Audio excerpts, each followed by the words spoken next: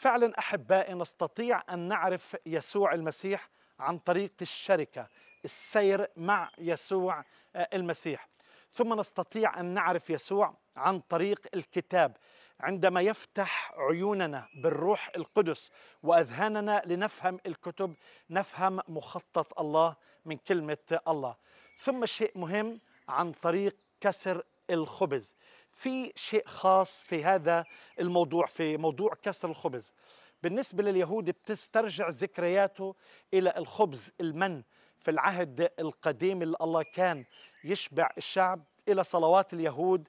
مبارك الله الذي يطعم الناس من خبز الأرض. وطبعا المعجزات المسيح على بحيرة طبرية لما كسر الخبز ولما كان معهم في العلية كسر الخبز. ففي معرفة خاصة عن طريق كسر الخبز. يقول كتاب انفتحت أعينهما.